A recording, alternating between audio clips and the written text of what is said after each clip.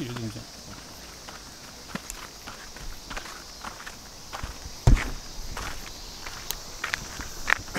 OK はい。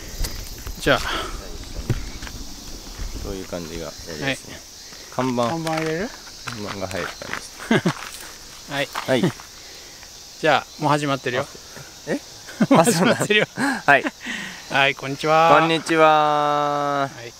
えっと今日はあのまあ今まで。自己紹介しないの？あそうか。自己紹介。はい、はい。あの宗谷海です。はい。なおです、はい。鈴木なおです。よろしく、はい、で2人であの4年前ぐらいに、うん。45年前にパーマカルチャーと平和道場っていう場所をあのいすみ市で立ち上げて別の名前名前は暮らしの学校ってこの看板に書いてあるんだけど。はい。それでえっとまあもうひたすらあのいろんな修行をしてきて。うん。で今はなんかやっとなんか結構あのいろんな部分が落ち着いてきてでだいぶあの果樹とか植えられたりいろんな人を誘って学びの場としてももうちょっと安定して随分いい感じにあの進んできている。そうだね気がするよね。やっぱりなんか長くいるとそんな感じがするよね。うんそれはそうだ。そうそうそう、でも今初めて来た人にとってはなんかえー、こんな感じみたいな部分もあってやっぱりなんかそのねどのくらい関わるかによって、うん。とかどのくらいのイメージうん。とかがあるかによってだいぶあの感じるものは違うけど、うん。まあうちらの実験と学びと、うん。そしてなんか本当に目指してる世界を形にする場うんとしてやってきてでいろんな仲間が集まっていすみに移住者も、あのーおかげさまで増えて、うん。で今うちらが、あのーなんだろう、あのー新たな取り組みとして、あのーやろうと思ってるのがあのもっとサポートの輪を広げていこうとしてで今までそれをしたかったんだけど余裕がなくて今やっとなんかそのあのーもっとなんかこの場に来れないけど例えばその金銭的にサポートしたいとかあのままたはこの場に来てちょっとなんか小屋作りを手伝いたいとかなんかそういうのとかなんかもうちょっと多くの人たちに支援されながらうちらがあのできることに取り組むっていうことを始めようとしています。です。はい。そうだね。でそれがなんかあのプラッ今いろいろ検索しながら探してたシンカブルっていうプラットフォームで、あのうちらの、まあ、どういうことをやってるのかっていうのをあの紹介しながらそこにもし、あのサポート、あのできる人継続的しかも継続的なサポートが必要なんだよね。なんかだから、うん。立ち上げはあの助成金とクラウドファンディングとうちらのあのなんていうのかなもう燃え尽きない情熱で なんとかここまでやってきたんだけどやっぱりなんかお金も尽きてでなんていうのかなもっとあのーいろんなやっぱりね維持維持にかかるものとかあとはなんなんだろうななんかコミュニケーションとかもね、うん。なかなか継続的に取りにくくてだから新たな、まあ、この機会を通してもうちょっとうちらも継続的に発信するっていうことをできたらなと思っています。そうだねなんかまあ今日のビデオはねそういうビデオそれをまあ定期的に今後やっていこうとしていて、まあ、こんな感じで、まあ、2人で、えー話しながら、まあ、2人じゃないかもしれないけど、えーどっちかが誰かと話したりするかもしれないけど、うんまあ、こんな感じのビデオを続けていこうと思ってるのね。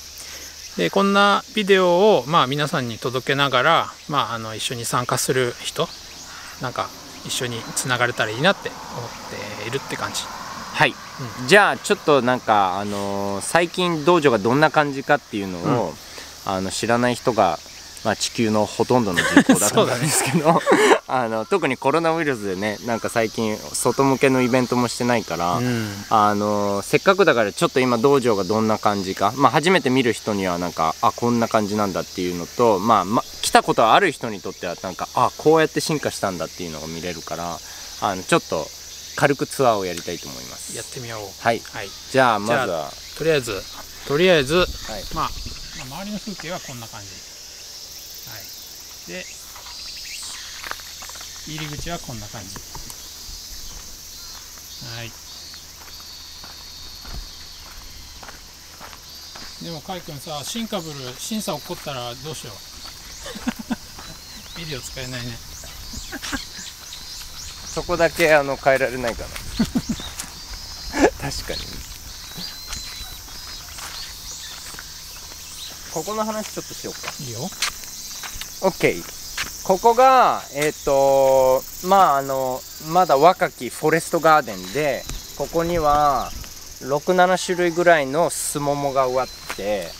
であのアーモンドと木もあったりここにザクロが植わってたり、えー他に何があるかな。こっちにはフェイジョアをあの3本。あの3姉妹。植えてたりフェイジョアパイナップルグアバっていうまたの名があってでイチジク桑の木レモンあのー、他になんかいろいろなんか植えて忘れたものもあるかもしれないけどまあ今やっぱりフォレストガーデンの特徴としてはやっぱりなんか7年後の収穫とかを目指して植えるからあの畑と違ってなんかいつ結果がなんかすごい待ち遠しいけどね一回なんか木が大きな木になってここがなんかもう木に覆われてる状態になったらもう本当に歩きながらどなんかもうとにかく果物を食べて楽しむみたいなそういう場になることを期待して今あのー未来を育ててる感じ。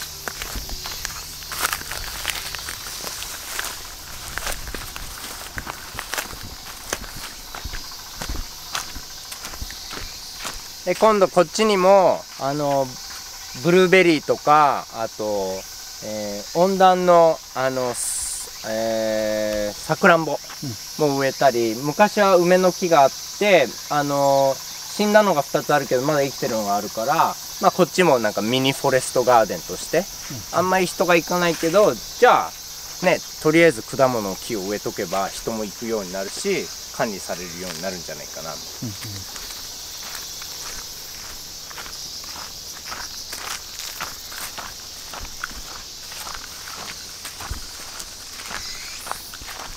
でここが今あの苗木置き場になっていてでまあちょっと調子悪いからヘーゼルナッツとかポポーとかあのシーベリーっていうマニアックな植物とかあのあとアボカドの木とかまあいろんなものを今ここにあのこの冬植え付けっていう感じでとりあえず今ここであの育てています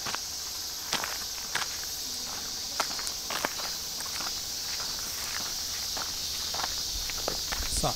これは母屋だね。じゃん母屋です。これがまあねシンボリックなあの建物でもあるんだけどおそらく築150年の母屋ででまあ結構状態が悪くなってきてもしかしてうちらが来なかったらもうそのままあのゴミになってたかもしれない。やっぱり日本中でこういう素晴らしい古民家もう今では建てられないようなやつがどんどんどんどんあのもうブルドーザーとかで潰されて捨てられていってるから、まあ、うちらはあえてこういうねあの素晴らしい日本家屋を直してでしかも直す時にもうちょっと自分たちの暮らしに快適なように直してみるっていうことをやっていてであの今はここでイベントやったり人が暮らしたりあのみんな輪になってあのまあ、もうちょっとその非暴力コミュニケーションとかマインドフルネスとかここであの探求している分野を一緒にあの実践する場になっております。でこの周りはもうあのここに住んでた僕たちが来る前に住んでた人たちが植えたこれはあのえっ、とアプリコット、あんずだったりこれは柿の木だったり柚子の木だったりあの牧の木はあのいすみ市のあのこの結構よく生えているあのこういう木なんだけど、まあ、暴風林。ここ風がすごい強いからこういう暴風林があるとものすごいあの建物も守られるし、うん。人の安全も守られるからなんかそうやっていろんなあのうちらが来る前に植えられたあの木の恵みをあの楽しみながら一緒に新たにここを素敵な場所に育てている人たちが集まっています。あとあそこにあの、ね一期生が建てたあの小屋が すごいね。ファンキーだね。ちょっと覗いてみようか。おこんな感じなんだこれも廃材だけで作られた小屋。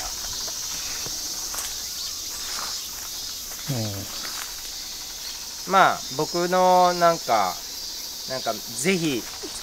地球にいるみんなが学んだらいいなと思うのがやっぱりそのあのー食料あ食べ物の食べ物の育て方と家の作り方。しかも別にちゃんとした家じゃなくてもとりあえず暮らせる住処みたいのが作れたらそしてなんか人との関係性をうまく、あのー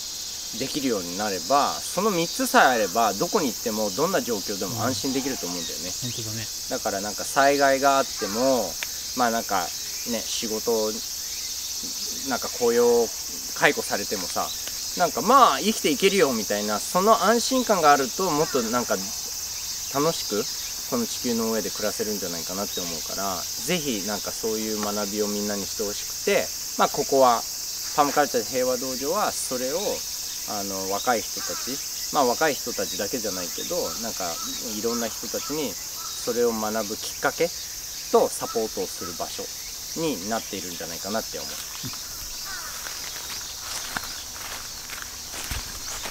じゃん次どこ行くな次はじゃあ母屋の中に入ろうか。いやはい。じゃあこれがあの母屋で、はい。じゃじゃじゃじゃん。まあ古民家らしく真っ暗です中は。でこれは土間でやっぱもう全然今真夏なんだけどやっぱり涼しい。でここもなんかなんていうのかなそのここに来た大工さんもなんか、まあ、名前が道場だからなんか修行らしくあの大黒柱とかもこうやってあの四方鎌継ぎで直してこれ彼は多分初めてこれをやったって言ってたけどなんかやっぱりねこうやってあの日本の伝統とかを記憶するっていう意味でもやっぱこの古民家再生の意味があると思うしやっぱりそのやったことないことをなんかチャレンジしてみるっていうことにもなんかすごく意味があるんじゃないかなと思って。で土壁とかもこうやってまあ元の状態がこんな感じだったりししたんだけど、あこれがでこれもこれでなんか美しいなと思ってなんか中身が見える、でそれをなんかみんなであの土壁ワークショップをあの国内外のあの人たちと共にやって直していってで最最終的には漆喰を塗るみたいな、だからこういうなんか日本の伝統工法とかをあの伝統的な技術とかを学ぶ機会っていう意味でもすごくいいなって思う、そしてちじゃなんはい。あいいよ。はい。これがあのまあ母屋の一番うちらが使ってる空間なんだけど床とかは全部張り替えてこれね。でこの間にはあの、えっと断熱材もみ殻くんたんを入れて、でやっぱり古民家のね床って超寒いからこうやってもみ殻くんたんを入れてあの断熱をしてより心地いい空間を作るっていう。だからただの古民家再生じゃなくて、再生するんだったらより心地いい空間を作るっていうのをなんか目指してでそこに今柿渋とかも塗ってあってであとはなんかこうやってギフトでいただいたピアノがあったり、ね、ここで大事にしているいろんな理念。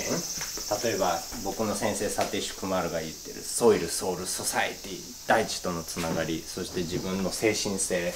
と社会とのつながりっていうこととか、まあ、エゴシステムからエコシステムとか、まあ、この話し始めたらなんかあの永遠と終わらないから、まあ、そんな感じのあのプロパガンダのボードがあったり、まあでもこういうテーマを学びにいろんな人たちがここに来たり、あとこれはね毎週月曜日にスケジュールを決めて、でまあ月曜日に作業ミーティングと、まあ、コミュニティの中で何が起きてるのか話し合ってで火曜日はあの棚原さんっていう自然栽培のすごい素敵な農家がいて彼のところで作業して、まあ、自然栽培、まあ、自然農に似てるんだけどあの有機無農薬のあの畑農業を学んでで午後は瞑想会プラムビレッジのそのマインドフルネスの実践会みたいな感じのことをやったりあの、ね、今週は焚き火会っていうのもあったり。あとここには道場のつながりの時間とかあのー話し合いとか佐野さんっていうまたうんすごいマニアックなすあのーいすみのあのーすごい素晴らしい人お百姓さんがいて彼とあの田んぼの作業を共にしながらあーなんだっけ釜の研ぎ方とかを学んだりしてだから本当になんていうか道場だけじゃなくていすみ市のいろんな人と学んだり手伝い合って、でなんかその支え合いの生態系を広げているっていう感じで今やっていていいね。で日曜日はあのアースオーブンでパン作りの あの修行をやってまいります。ここで。あとこの部屋がどんな風に使われてるかも教えてもらえるかな。そうだね。この部屋はまあ瞑想会をここでやったりあと今あの住人が3人いるんだけど、うん。その1人がここで寝て 寝泊まりしているから、うん。まあ彼女のベッドルームみたいな感じだったりあの非暴力コミュニケーションのリトリートやってる時はもう本当にここに3 4 0人とか集まってであの NBC の実践とかをやったりしてた。今年はそれが残念ながらできてないんだけど、まあ、今までそういうリトリートやったりあのイベントとかもやってなんかあのコンサートとかもやったり僕の娘今2歳なんだけど娘の誕生日会を毎回ここでやっている。だかみんなで来てなんかパフォーマンスとかやったりあの毎毎年盆踊りもやってるのね。なのでこの中で盆踊りやったり外で盆踊りやったり。あとはねまあ話し合いとか、そんな感じかな。まあリビングリビングとベッドルームっていうのが一番大きな機能かもしれない。あと図書館もあって。そうだね。図書館もあるね。そうそう。でまあうちの本をほぼ全部持ってきたんだけど、まあ、パーマカルチャー系とか哲学とか、あのー暮らすことローカルビジネス、あのー動植物についてとか、まあ本当にいろんなものがあのここにあるマニアックな本だから結構長くここで時間を過ごして、あのーね本当になんていうのかまあここは探求する場所だから、あのーなんていうかなそのスケジュールも詰めずになんかゆっくり自分を見つめて大地を見つめてそしてコミュニティを見つめて何が起きてるんだろうっていうのとじゃあどういうところに自分はなんかあの引っかかる引っかかりを感じたりどういうところになんか貢献したいっていう気持ちを感じたりっていうそこをなんか味わう、うん。あの文化が結構できてるんじゃないかな。でこれは僕の仲間のまあ床もそうなんだけど仲間のフィル・キャッシュマンっていうパーマカルチャーデザイナーが作ったシャワーでございます。これもともとは廊下なの。で廊下をシャワーに変えてでちゃんとお湯も出るしあのよよかったらどうぞ中へあのまあこんな感じのちゃんとしたシャワーが廊下にできました。で材料とかもなるべくねまあおうちはもうそんなにお金がないからお金がかからずあとゴミにならないものをなるべく、だからあのねくずいずれは崩すだろうからその崩す時にゴミにならないゴミになる量のものをなるべく減らして再利用できるものをなるべく増やしてあと心地よさ？っていう感じで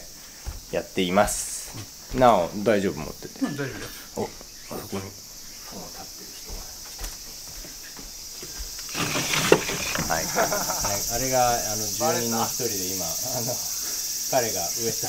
ものを。盗み食いしてます。盗み食いしています。めっちゃ美味しいでも。ああよかったね。あれはもともとあの壊れたあの池その中にボブがなんかここに畑を作るって言って あのトウモロコシとかオクラとか黒いピーマンとかスイカとかもいろんなものをスイカもできてててねスイカもできてるよね。いいね。最高だね。はい。じゃあトイレ行こうかトイレ。よあトイレ。いしょ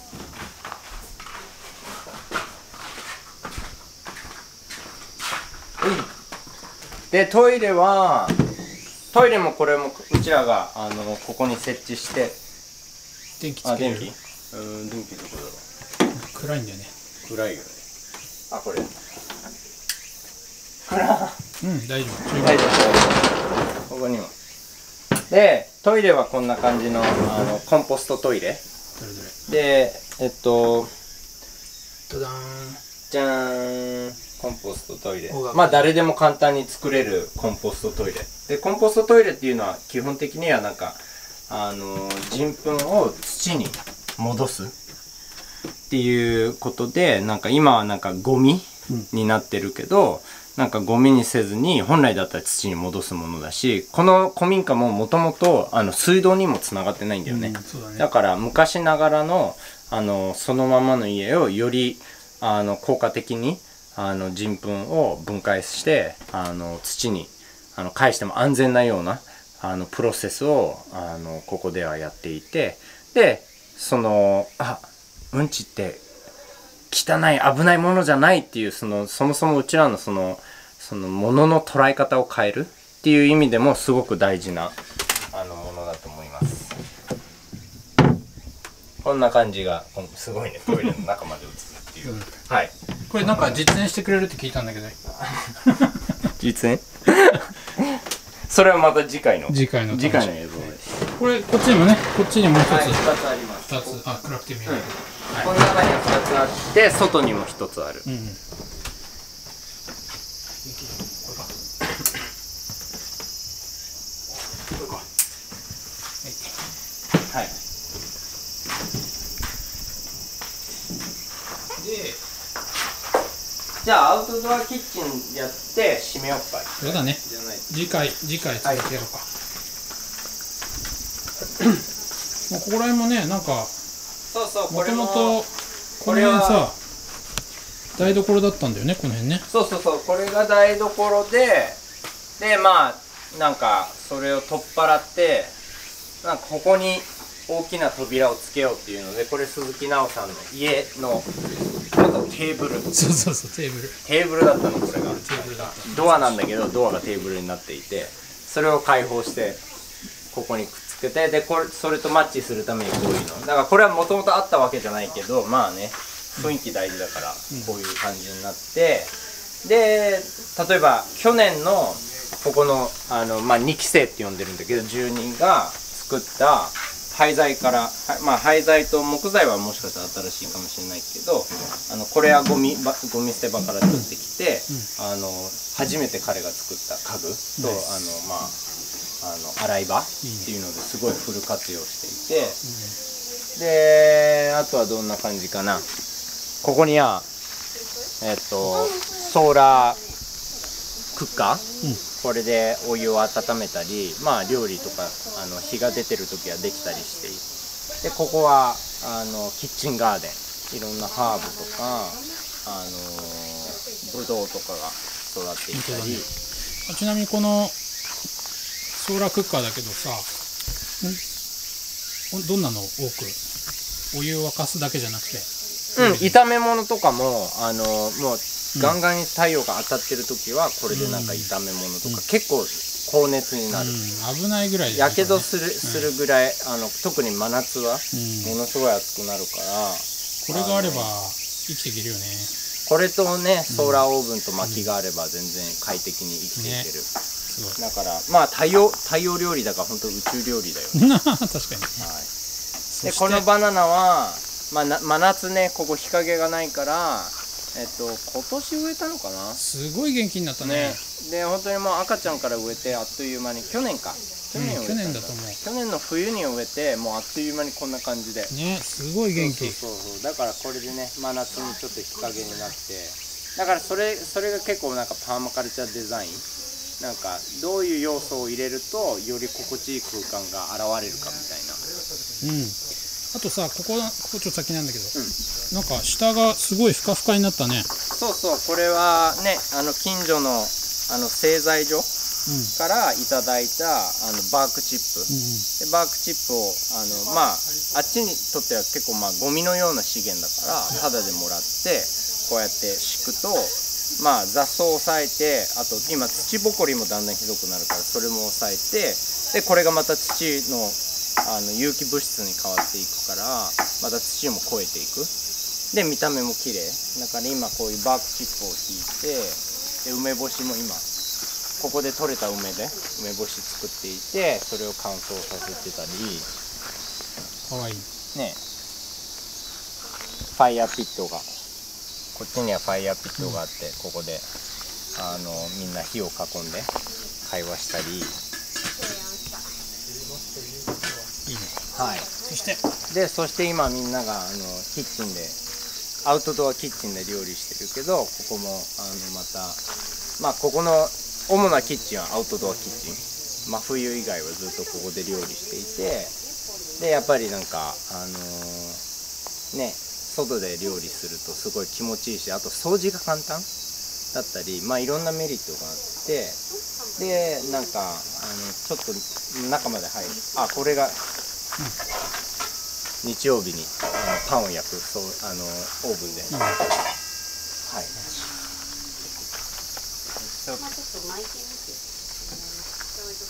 じゃあちょっと中に、はい、ようこそ。お。ここで採れたパパイヤ。嘘嘘。これママクワウリ梨売り？梨売りなの。その毎週火曜日にあの一緒に農業させてもらってる棚原さんの梨売りだっていいね。ここにねロケットそう。でこれがロケットストーブでえっとこれがロケットオーブン。じゃーん。ロケットストーブの上に乗っけるロケットオーブンっていうあのまあこれでパンとか焼いたりあのケーキとか焼いたりまあいろいろ焼き物ができる。素晴らしい装置ででだるまストーブ。なんか結構もう薪ベースでいろいろ料理したり、まあ薪だけじゃなくてあの必要だったらプロパンかな？プロパンじゃないか。あのガスコンロ？カセットコンロも使ってるからまあその時に応じてあの必要なことをあの使ってやっている感じです。はいじゃあ俺がいっぱい喋ったけどなおなんか喋る？うん。持とうか大丈夫？大丈夫だよ。はい。うん。まあとりあえずあのもうすぐ動画が30分になるんで、OK あの一旦 そうだね。一回目はこんな感じで。子供をあの迎えに行かないと。そうそうそう、はい。はい。はい。おいいね。よいしょ。おいいね。トロピカルな感じで。はい。えー、アロハうん ねはいうん楽しかったね。うん楽しかった。楽しかった。いやあのなんかいいんじゃない、はい。楽しい楽しい。うん。あのまあこんな感じでちょっと実行まあこのファームのねあの道場の紹介をしていったり、あとなんかいろいろ僕たちが今あの考えてることとかあの深めていってることとかについて話したり、なんかそんな感じでやっていけたらなと思ってて、うんうぜひ引き続き見てほしいなと。うんうん。であの今回、えーシンカブルっていう仕組みを使っておそらくね。そうだね。審査を通れば。審査通れば。よろしくお願いします。はい。はい。